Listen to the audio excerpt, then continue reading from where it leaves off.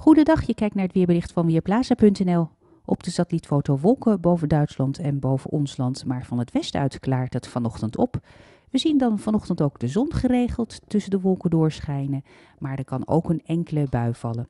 Het waait flink vanuit het westen tot zuidwesten, windkracht 5 boven land, windkracht 7 aan zee. En vanmiddag blijft het wisselend met zon, wolken en een paar buien. De temperatuur loopt op naar 8 tot, tot 10 graden en dat is vrij zacht voor de tijd van het jaar en het blijft stevig doorwaaien vanuit het zuidwesten.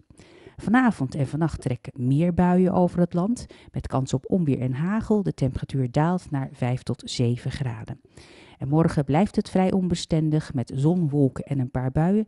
Het wordt iets minder zacht dan het vandaag is geweest, 6 tot 8 graden. En de wind zwakt iets af en draait naar het westen.